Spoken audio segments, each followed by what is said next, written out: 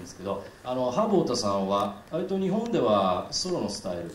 来られることが多いんですけど一昨年僕あの一緒に沖縄のウクレレフェスティバルっていうのに行った時にはあのいつもやられてるギターの南條さん、はい。えー、それとベーシストのスティーブスティーブさんですね。トリオで、まあ、ジャズトリオのスタイルでスティーブさん。あのと3人でやられるとまあより自由にアドリブが太田さんできますよねああまりにも単純な質問ですね。バックで。それであの僕あの太田さんの、えー、なんとかあの来日された時のメンバーの方とも、えー、一緒に、えー、いたりしたことあったんですけどもあの太田さんは今回の教則ビデオ出てるのに南度さんというギタリストの方とあのハワイでのライブの演奏が入っていて、で今日はちょっとね僕あの本来ギター弾きなんで米粒に般若心経を書くだけやりたいんですけど、えー、じゃあ南度さんとやってる感じであの太田さんも今回のステージは来日のステージはソロのステージが多いんですけどなんか一昨日はですか？大阪でゴンチチとそうですね、えー、でゴンチチと僕だけなんですよね音楽セッション